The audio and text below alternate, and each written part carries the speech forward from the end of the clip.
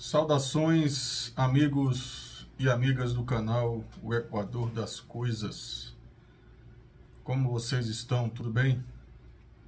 Sejam bem-vindos mais uma vez a esse espaço que tenta, de alguma maneira, aproximar livros de pessoas e vice-versa. Meus amigos, vocês gostam de haikai? Sim, não? Me falem aí, deixem suas opiniões aí no, nos comentários, se possível. Eu trouxe aqui um livro do Jean Marcel e Simone Alves Pedersen, voltado para o público infantil, né? E infanto-juvenil também. Cai ou não cai? Raikais e animais. Aqui está a capa.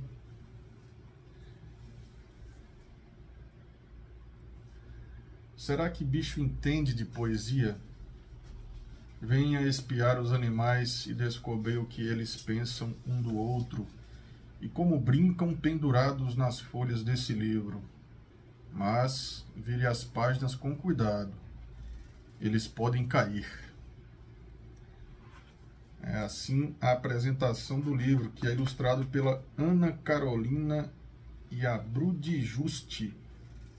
A editora é a Vis Brasilis 2013. Logo no início, os autores fazem aqui uma rápida introdução a respeito do Haikai.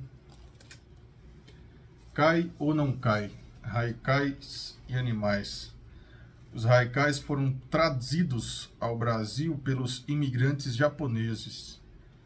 São poemas sem rima, sem título, com cinco, sete, cinco sílabas poéticas e versam sempre sobre a natureza.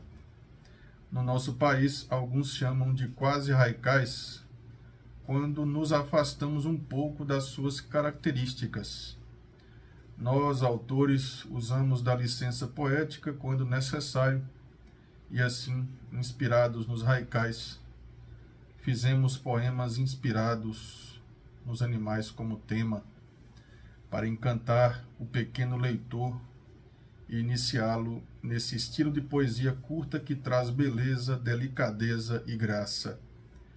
Uma nova forma de olhar os animais e a poesia assinam esse texto a Simone Pedersen e o Jean Marcel. Vejam só um pouco aqui das ilustrações da Ana Carolina e a Brude Juste. O livro começa assim: Buracos? Eu não. Bradou a esposa do tatu. Pintei as unhas. Macaca danada, só queria banana assada. Fogo na mata. O macaco prego morreu no mar. Afogado? Tubarão martelo. Mamãe cava areia. As tartaruguinhas brotam. Ovinhos vazios. Aí está.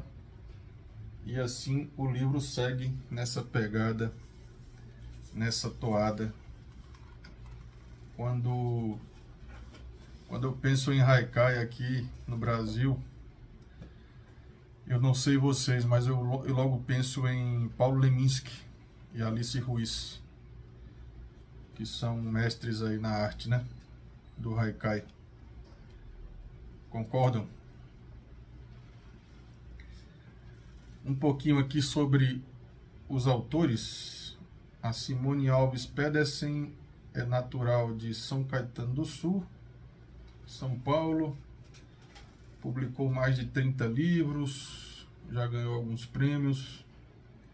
O Jean Marcel Silveira Gomes nasceu em São Paulo, reside em Florianópolis, é professor, mestre em administração, fotógrafo também, já venceu alguns concursos literários e a ilustradora Ana Caroline Iabro de Juste Nasceu em Salvador, morou até os 12 anos em Belo Horizonte. Desenha, é formada em artes visuais e design. Já ilustrou mais de 50 livros. Tá aí, pessoal. Cai ou não cai, raicais e animais. Essa é a nossa dica de hoje de leitura para você que gosta de haikai, para você que gosta deste estilo poético, dessa forma poética muito importante, muito original também, né? E que em várias partes do mundo ganhou características próprias, saindo um pouco do tradicional triverso japonês a falar apenas como tema, como mote da natureza.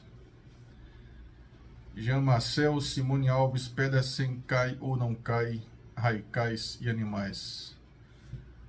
Até a próxima, sejam sempre bem-vindos e continuem lendo.